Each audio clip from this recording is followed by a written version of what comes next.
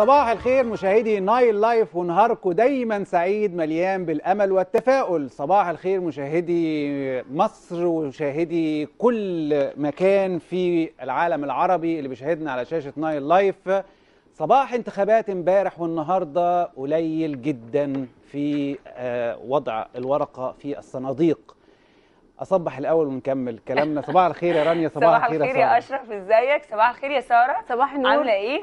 بنصبح على. كل مشاهدي نايل لايف في كل مكان. بنصبح على كل المصريين وفعلا الانتخابات يمكن عكس ما كنا متوقعين عكس الحماسة وال وال وال والإقبال اللي كان موجود في البداية. ليه مش عارفين؟ هنفسر ده على مدى آه، على مدار حلقتنا النهارده طول اليوم. صباح الخير على إيه يا اشرف خلاص. نسيتني عشان مش قاعدة أنا عايز قدامك أشرب خلاص. حاجة يا ساره حاجة سخنة ولا حاجة ساقعة؟ سخنة لا، طبعا يا سارة الصبح. بقى كده عايزة أقول لك شوية. ثانية واحدة بس عايزه أقول لك إن الكاتل بقاله ثلاث ساعات هنا بيغلي. بجد؟ لحد ما أنا كنت هسيح جنبه بس آه. هعمل لكم حاجة سخنة. طب اعمل أوكي لنا حاجة سخنة. بس أصبح سكر مش كتير ها؟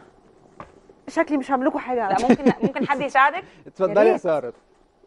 طيب يعني أنا عايزة. أقول بس إنه آه، قول يا سارة. صباح الخير. أيوه. صباح الخير على كل الناس وبحاول أعمل لهم أي حاجة سخنة كده يبتدوا بيها يومهم النهارده علشان اليوم يبتدي سخن جدا. بس واضح إني مش هعرف أشرف معاكم دلوقتي أقول لكم إيه هي الفقرات آه زي ما ح... زي ما حضراتكم عارفين طبعا إنه آه، انتخابات الإعادة كانت إمبارح والمفروض إن هو في آه بيتنافسوا تقريبا هم ناس هم نفس الناس تقريبا اللي هو على 52 مقعد لأن الانتخابات في المرحلة الأولى ما كسبش منهم أو ما زال إحنا برضه في المرحلة الأولى ما كسبش منهم غير أربع أشخاص. يعني معناها تقريبا بنعيد الانتخابات تاني. بس المفاجأة الغريبة الشعب المصري عمل مفاجأة غريبة إنه زي ما عمل مفاجآت في إن هو نزل عشان انتخابات في يوم الاثنين والثلاث زي ما عمل برضه مفاجآت غريبة إذا كان آه، ناحية الكتل الإسلامية أو الكتل ال- الليبرالية أو الك...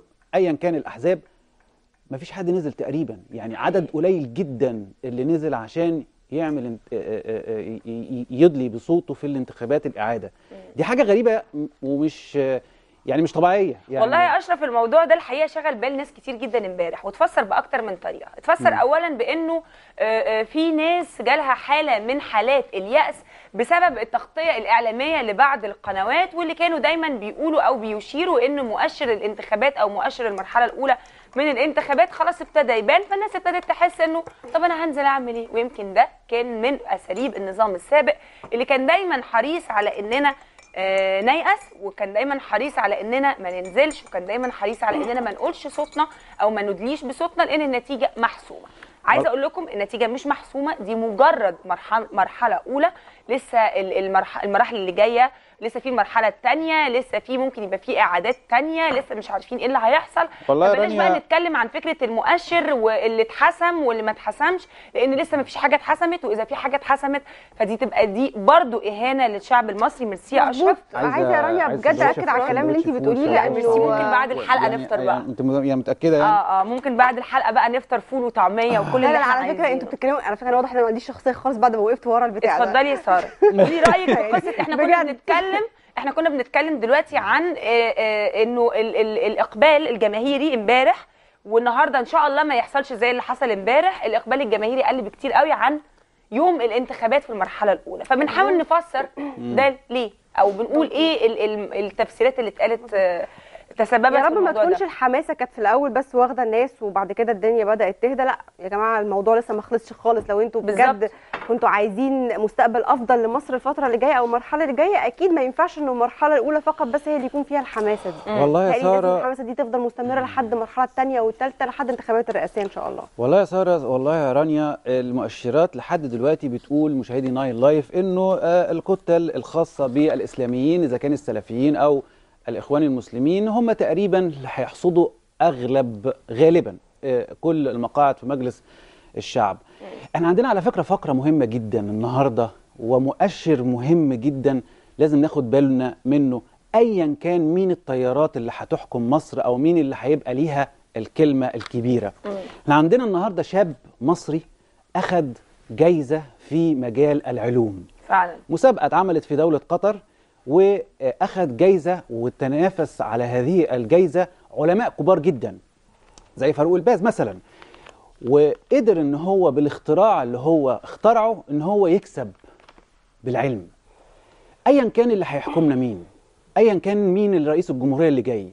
ايا كان إخوان مسلمين سلفيين؟ إحنا بالعلم بس هنعرف ناكل. إحنا بالعلم بس على فكرة هنعرف نتقدم.